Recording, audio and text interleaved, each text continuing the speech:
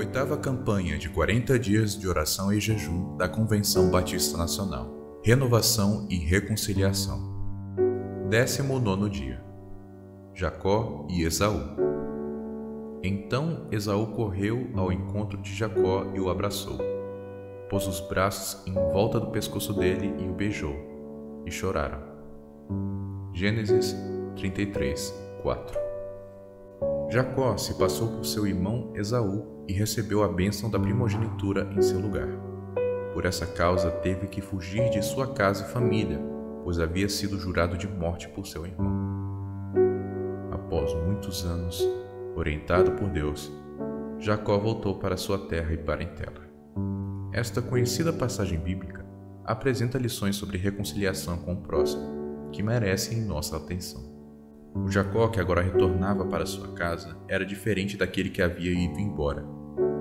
Ao ver de longe seu irmão Esaú, com quatrocentos homens, prostrou-se diante dele por sete vezes, com temor e tremor, indicando subserviência ao irmão. Por outro lado, Esaú foi demovido de sua hostilidade contra Jacó e revelou um espírito generoso e magnânimo. Deus transformou o coração de Jacó e o fez ter uma atitude de humildade indo até o irmão, transformou o coração de Esaú, fazendo ter compaixão de seu irmão. Deus transformou 20 anos de separação, ódio, mágoa e desejo de vingança em um lindo reencontro de reconciliação entre dois irmãos. As pessoas mudam, se arrependem e, mesmo não sendo fácil, buscam reconciliação com aqueles que ofenderam as pessoas podem mudar. Mesmo após anos nutrindo ressentimento e desejo de vingança, podem revelar um ato de generosidade e empatia. Deus muda as pessoas, tanto as que pedem perdão como as que perdoam. São fruto da transformação que Deus faz.